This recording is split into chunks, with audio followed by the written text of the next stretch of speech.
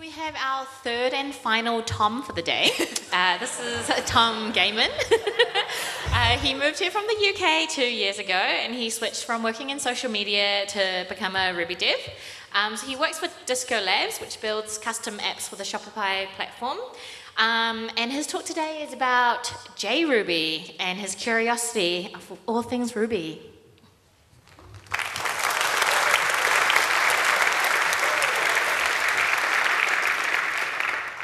Uh, hello.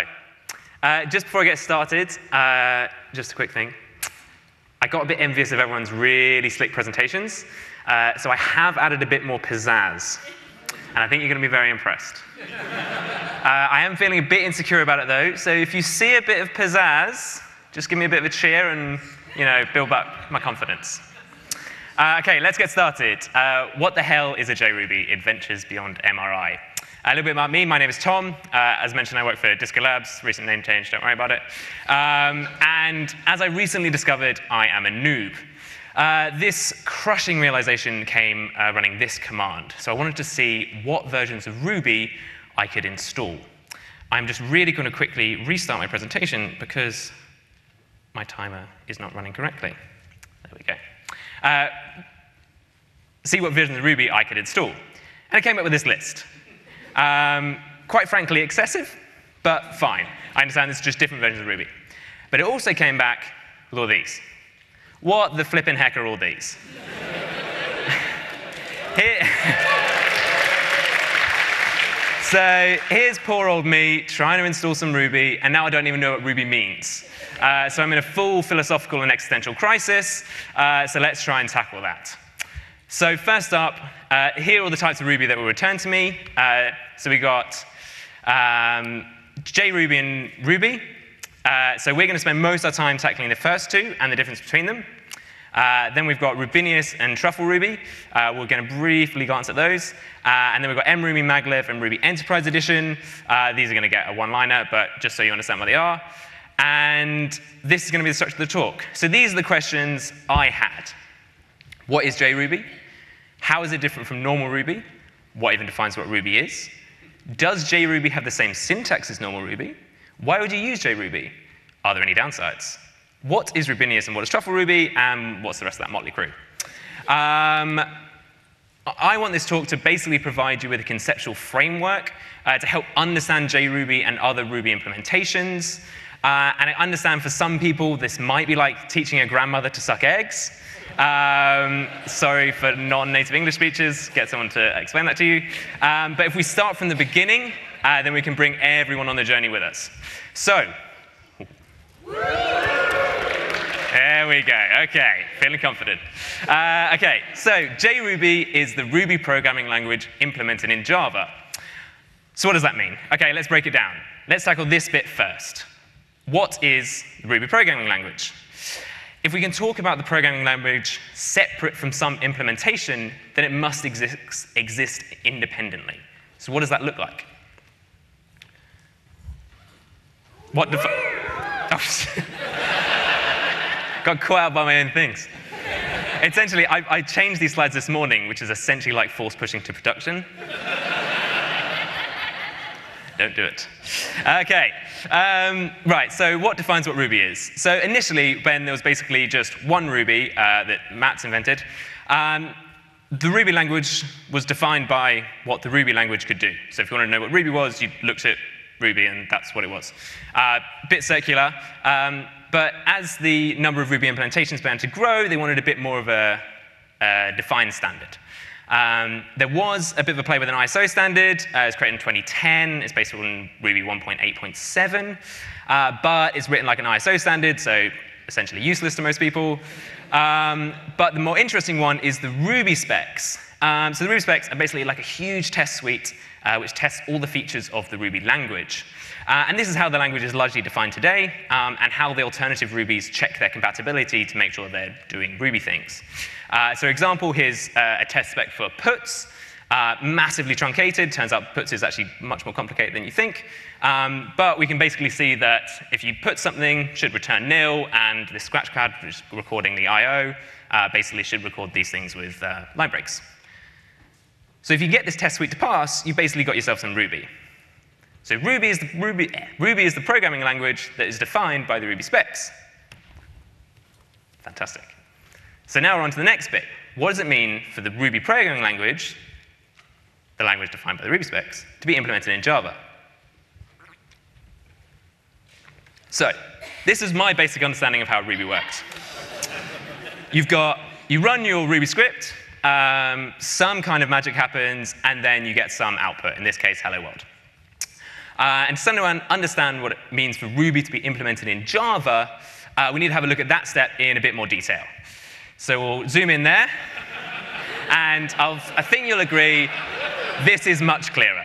Um, but we will go into a little bit more detail. Um, so it turns out, whilst Ruby is a really great language for humans to understand, CPUs can't understand that well, because largely because they're lazy at school. Um, so to keep the CPU happy, uh, we need to convert it to something the CPU can understand, or in this case, machine code, uh, so it can execute those instructions. And now the crux of the step of understanding Ruby implementations is in that circle there. So let's zoom in again. So this is our lovely Ruby, our source code, uh, and this is some interpretation and compilation step. Uh, now, at this term in the journey, at this point in the journey, you may hear the term virtual machine thrown around, uh, and this is basically where that comes into play, uh, but it's essentially the step where the source code is interpreted and run on the CPU. Uh, it's basically translating our Rubies to something the CPU can understand. So, when you have your language plus, your uh, plus this kind of compilation interpretation step, that is a Ruby implementation. Implementation is a really hard word to say. Um, so if you implement that in C, you end up with C Ruby, or MRI, or standard Ruby, normal Ruby, the Ruby that we all know and love. So let's dig into that step in a little bit more detail. This is the basic steps that happens between your lovely Ruby and some machine code. Um, and this is all implemented in C. So uh, you start with your source code, puts hello world. Uh, that gets tokenized and turns into something like this. Um, but what we really care about is these two. Uh, so we have puts, which is an identifier, and then the string hello world. Uh, so that looks like something like this. Um, and then we're on to the next step. So that's our tokenized code. Then we want to turn that into AST nodes. So AST nodes are basically uh, abstract syntax tree nodes. They look something like this. Um, you can see the puts, you can see the hello world. Um, in a diagrammatic form, that looks something a bit more like this. And this is essentially the structure of your code. Uh, I'm not going to go into this, any of this in too much detail, but just to give you a high-level understanding of what's going on. Uh, and then this abstract, abstract AST nodes are um, converted into YARV instructions. Uh, so YARV is, stands for yet another Ruby virtual machine. Um, and that's basically uh, what instructs the virtual machine to send the machine code to the CPU and run it. Uh, and then you end up with a machine code which actually runs on the CPU. So if JRuby is the Ruby, Ruby programming language implemented in Java, this is what it looks like. So essentially all this means is the part that handles turning our lovely Ruby into machine code is written in Java rather than Ruby. So um, looks like this. Um, and you can see, notice here that instead of our YARV, oh, change the slide. You can see instead of our YARV instructions, we end up with Java bytecode, which looks something like this. It's slightly more verbose, um, but you get the idea. So it runs through the same process, but instead of YARV instructions, we end up with Java bytecode. And this Java bytecode can be run on the JVM, which is the Java virtual machine, which we'll get onto in a little sec. So that is essentially JRuby. That's what it is. It's the, it's the Ruby programming language implemented in Java. Now, this is slightly unsatisfying um, because just to know what something is isn't that useful. Uh, so we're going to go into a little bit more detail um, and compare it more to Ruby and then also look why it is. Like, why would you choose JRuby over anything else? Um, so does JRuby have the same syntax as normal Ruby? Yes. Um, it's not like Crystal or Elixir or something that's very similar to Ruby, but not quite Ruby. Um, but it's worth knowing that with most alternative Ruby implementations, um, the language is generally a subset. So JRuby is pretty well featured, um, and I think it's currently covering uh, up to 2.5. Obviously, we're now on 2.6 and beyond. Um, so most alternative Ruby implementations will do some subset of the language, but can be more or less depending on the implementation. Important to note with JRuby, you can run Rails in it, so that's fun. So here's where we are. Oh, oh, sorry. Um, so why would you use JRuby over normal Ruby? Why, why is there another Ruby? Um, so as I was researching this, I was Googling Java, and I learnt that Java was originally developed by Ryan Gosling, which made me laugh. Uh, and that is completely beside the point. Um, so this is essentially um, why you would run JRuby. Uh, it's quicker. Uh, so these are some slides that uh, Charles Nutter, the lead dev from JRuby, kindly lent me. Um, and this is basically benchmarking a Rails app um, and processing requests. So more requests per second is better. So JRuby's quicker. Cool. Um, as with any benchmark stuff, mileage may vary, yada, yada, yada, but let's just say it's quicker. Uh, and it's quicker largely because of the JVM. So the JVM is the Java virtual machine. So if you're thinking virtual machines, what's that? It basically comes into this kind of step in that process. Uh, so the JVM is the culmination of 20 years of kind of research and development, and they've answered all these super hard computer science problems like garbage collection and just-in-time compilation and like all this sort of crazy stuff. Um, and it basically it's the Java virtual machine which enables all this kind of goodies. Uh, so it has just-in-time compilation, so it offers lots of opportunities for optimization while the code's running. And the longer you run your code, it means that it can run quicker. Uh, portability, so there's the Java idea of write once, run anywhere. So you can now run Ruby in places where you previously couldn't run Ruby. Um, it's got great Java compatibility, so in the same way that it's C Ruby or normal Ruby, um, you can run C libraries. With JRuby, you can run Java libraries, so if that's your bag, great. Um, and it also has great tooling, so you can get all these kind of infographical tools. You can see your like garbage heap and memory profiles and all this sort of crazy stuff. Uh, I'm going to link you to a talk that uh, Charles Nutter and the other dev, I can't remember his name, uh, of the JRuby project did, and they, they go into a lot more detail about that kind of stuff. One thing you'll hear loads about, though, if you start digging into alternative Ruby implementations, is that everyone bloody loves a threat. uh, so you hear about multi-threading and native threads and green threads and real threads and thread count and Egyptian cotton and king. No, sorry. Some of those, some of those are bed sheets actually, but you hear a lot about threads. So we're going to take a quick detour into processes, threading, concurrency, and parallelism. Uh, the analogy that follows is is uh, slightly adapted by the analogy given by Jesse Storimer in a book, Working with Ruby Threads. It's really great if you're uh, looking at working with Ruby and Threads. I would recommend a read. Mm. But the general idea is this. If we think of a process as some development agency, um, so when you start C Ruby, uh, you start a new process, and that process has one thread. Um, and we can think of that thread as a developer working inside that agency. Um, so the developer can, can, perform some work, it can share resources with other developers, um, and things like that. So by default, Ruby has one main thread on which it performs its work. And that leads, so the standard model is serial execution. So with serial execution, let's say the work they're performing is producing some software with feature A and feature B. Uh, our developer will work on feature A until that's finished, and then they'll work on feature B. Let's say both features take half a day, the whole thing will take a whole day. Um, this is, can be, um, wasteful is the wrong word. Uh, wasteful, let's say, wasteful. Um, the, so the problem is that each of these features has a long-running test suite. So while they're doing their thing, running their test suite, they're just waiting around for the test suite to finish uh, passing. Um, and this is essentially uh, one of the problems of serial execution is that if there's some task, let's say some blocking I.O., you need to write to some slow web server or something like that, you're just sitting around and waiting for that thing to happen. So this is what CRuby does by default. And you might be thinking, just add more threads.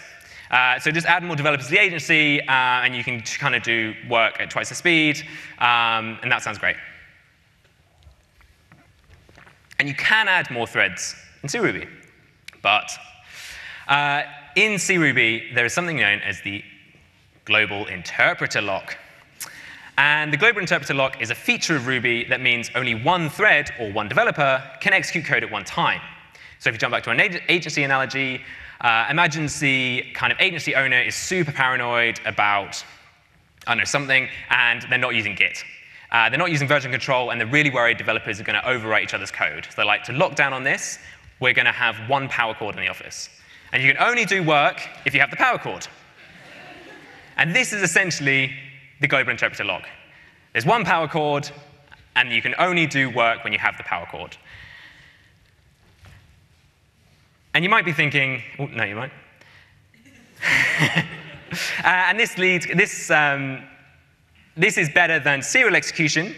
Um, we move into a model called concurrent execution. This is better than serial execution because, say, say they're running their test suite on some CI platform, they can push up their code, it's running on the CI, the other developer grabs the lead, they can start running on their code, push that up to CI, push it back. So they can start switching between those features quite quickly, uh, and let's say they can complete the work in three quarters of a day. And this model is called concurrent execution, which is basically, you're, let's say you're only working on one thread, but you're kind of briefly switching between them. And you might be thinking, that sounds dumb.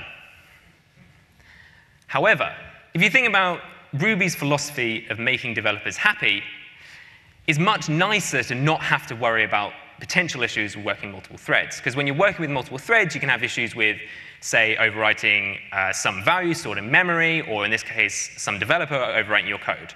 Um, and that kind of really aligns with Ruby's core fundamentality of make it a really nice language to use. With JRuby, however, it's power cords galore.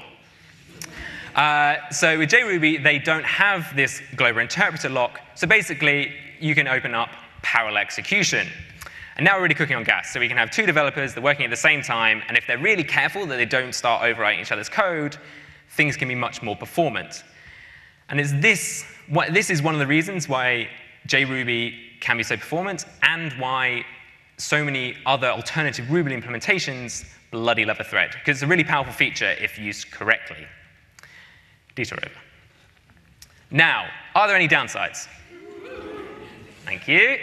Um, so it is, it's slightly longer to warm up and start up. Um, so the graphs tend to look about like this. Again, uh, appropriated from Charles Nutter. Um, and uh, so we can see here the JRuby graph starts a bit slower, but once it gets cranking, it is more performant tends to be more memory intensive. Uh, you do lose the C library compatibility, uh, though with JRuby, uh, they've ported over a lot of the stuff you might use, so like Nokogiri and things like that. Uh, and because it, as I mentioned before, it is a subset, you do lose some of those kind of new fancy bells and whistles. So here's where we are. So on to Rubinius, Truffle Ruby, and the rest of that motley crew.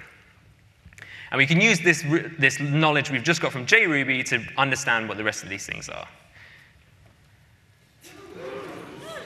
That was a pretty good one, actually. Uh, so what is Rubinius? So Rubinius is confusingly Ruby implemented in Ruby, uh, but also C++. So with Rubinius, a lot of the core library is written with Ruby, and then there's the C++ kind of doing C++ things, uh, basically being fast. Um, but with Rubinius, you have no global, no global interpreter lock, so you can make use of multi-threading, uh, use generational garbage collection, and just a kind of compiler to speed things up. Uh, and it also supports C extensions. So C extensions plus multi-threading, plus some fancy compiler stuff means it's a bit quicker.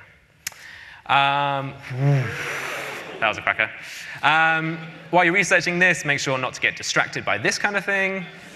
Um, but uh, so Truffle Ruby is quite interesting. Uh, so it also runs on the JVM like JRuby, uh, but they've written a separate just-in-time compiler called Graal. Um, now Graal is quite interesting because they're trying to create this kind of universal virtual machine um, so that's kind of the layer on which you kind of run your code. Um, and Truffle is the library for building those abstract syntax trees we wrote earlier, uh, wrote earlier, saw earlier. Uh, and so the idea is with Graal is you can use it to run all sorts of languages like Python, JavaScript, da da da. Uh, super fast, it's one of the fastest implementations, uh, but it can't run Rails yet. Um, so if Ruby's your thing, it's really great. Uh, shout out to Chris Seaton, who's also one of the lead devs, for helping me with that slide. Now, onto these three. Uh, just word of warning, if you think maglev and Ruby Enterprise Edition sound cool, they're largely dead now, um, but I'm including them because they were returned in our original list. Uh, so mRuby's Ruby but embedded, uh, so it's like a much lighter weight version of Ruby, uh, popular for things like using Arduinos and Raspberry Pis and Internet of Things and things like that, things where a more lightweight implementation is useful. Uh, maglev is super hard to explain, apparently, um, but essentially it was Ruby, but kind of distributed uh, on the Smalltalk VM. Uh, if you're interested in that, I would check out the announcement RailsConf video, because uh, that would be a talk in itself on how that works. Uh, and Ruby Enterprise Edition is Ruby, but like enterprise. Um, but it was essentially solving some of the problems Ruby had pre 1.9. Um, and a lot of those changes were merged back in or circumvented another way. Um, also made by Phusion uh, of the popular Passenger web server, who also have, used to have the single greatest web development agency logo I have ever seen. um, of its era, I am sure. Uh, so, let's wrap it up.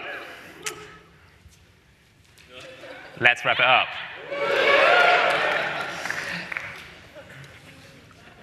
Okay, so there's a bunch of different Ruby implementations. They're just the Ruby programming language implemented in different ways. If some language can pass the Ruby specs, it's Ruby, let's say. JRuby is the Ruby programming language implemented in Java. It can run Rails. And you probably choose it for the performance game, hashtag Threads for Life. Let's get it trending, guys. Um, and that's essentially it. So uh, I've got some references. Uh, so the Working with Ruby Threads uh, is a really great book, and Ruby on the Microscope is really great, but also like really intense. So if you want to like, go really deep into how Ruby works, great book. Um, a lot of it's also based on this talk, uh, of which I stole a couple of the slides. They let me. Um, so uh, you can either type that in or just go to a much better jrubytalk.tomgamon.com. um, and just while I do have a captive audience, I would love to talk about my little side project, um, working with my partner. Uh, it's all about amplifying the voices of amazing women, um, not just those who've made it in some narrow sense. Uh, so if you know a woman who thinks has some amazing things to say, hint, hint, that might also be you, um, then go to thisisartemis.com and use the nominate form. Thank you.